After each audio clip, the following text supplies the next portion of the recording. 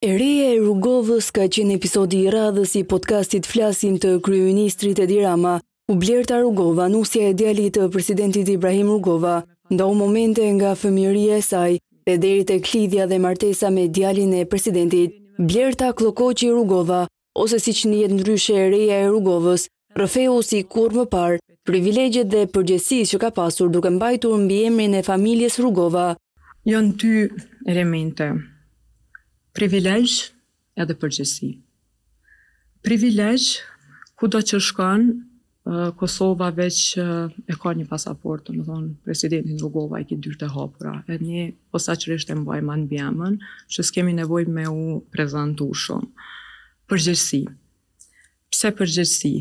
Se pamvarsisht çka bëj une, po flas për veten n'këtë rast, pamvarsisht çka thom une, nuk interpretohet që tha Blerta Rugova ose Blerta Kllokoqi Rugova ka me u interpretu që tha uh, nusja e familjes Rugova, domethonë ose reja e presidentit Rugova.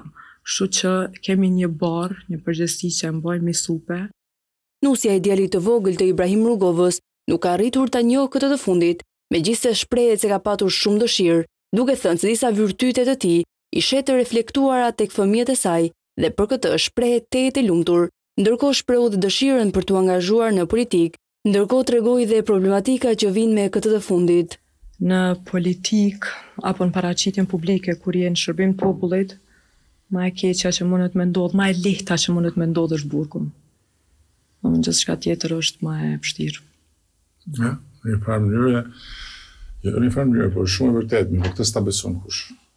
Këtë nuk ta beson kush. Uh, sepse shumëkush mendon që këta që merren me politikë, janë rehat, kanë, por në fakt është, është sakrificë dhe është një stërmundim shumë i madh. Kjo është arsyeja edhe pse në vitet e fundit edhe me Ukën e kemi diskutu shumë se Kur je në politikë, shumë pak ki kohë për familje, shumë pak ki kohë për fëmijë. Jo shumë pak ki kohë për familje. Ose hiç, a. Po,